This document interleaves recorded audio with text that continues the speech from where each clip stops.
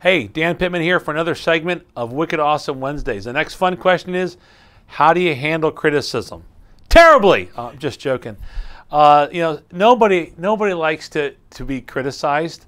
Uh, and a lot of people say, well, you're, you, know, you're the president of the company. Look, I have a board. Uh, I have, uh, you know, I have a new boss now. Uh, we all have bosses, and more importantly, I think a, a, lot of us hate to be criticized at home. You know, in those situations, it's more the personal thing, right?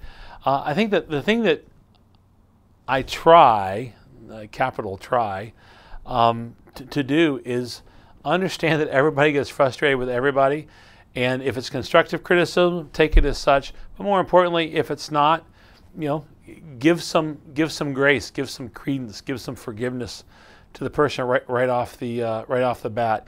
You know, if you're not being critiqued or helped, and you're truly just being criticized, I think that old adage of forgiveness kicks in. Um, my, my parents taught me this.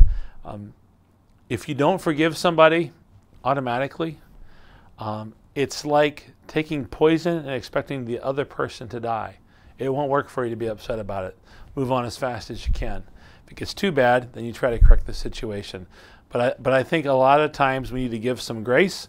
And if it becomes a pattern, you got to stand up and you got to make sure you have a, a transparent conversation.